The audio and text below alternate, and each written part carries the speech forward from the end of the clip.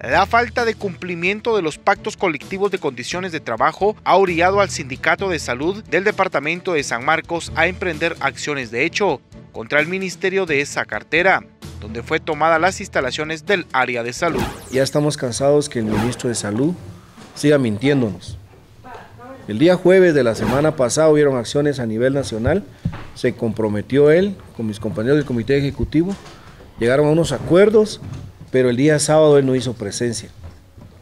Y nosotros como trabajadores de salud ya estamos cansados de las mentiras y de todos los ofrecimientos que le hace a los trabajadores de la salud. Carencia de medicamentos, pagos salariales, reglones presupuestarios son algunos de los compromisos no cumplidos. Hasta que el ministro de Salud cumpla lo que tiene que lo que está escrito en el pacto colectivo. Traslado de compañeros temporales a 011, presupuesto al Ministerio de Salud la unificación de bonos a los trabajadores 011 y el pago de salarios de compañeros que tienen hasta ya un año que no les han cancelado salarios.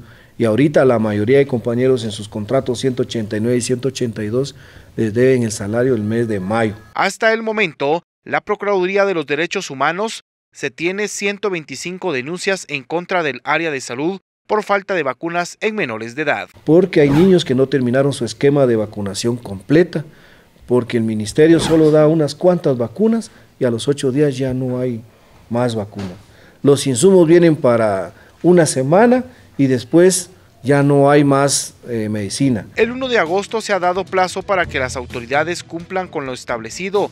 De lo contrario, se cerrarán las consultas externas, hospitales y centros de salud en todo el departamento.